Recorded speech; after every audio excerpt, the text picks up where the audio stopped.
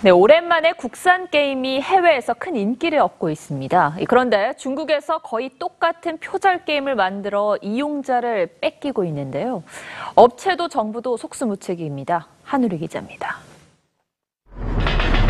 올해 출시되자마자 천만 장이 팔리는 등 세계적 인기를 끌고 있는 국산 게임 배틀그라운드입니다. 비행기에서 낙하산을 타며 시작하는 게 특징입니다.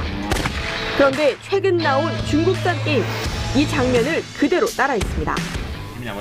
또 다른 중국 게임도 마찬가지.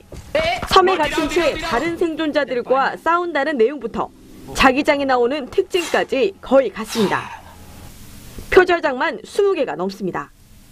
문제는 게임 이용자 가운데 중국인 비중이 40%로 1위를 하는 점입니다.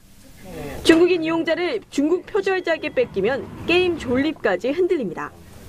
이미 중국 모바일 게임 시장에선 표절작들이 상위권을 차지했습니다.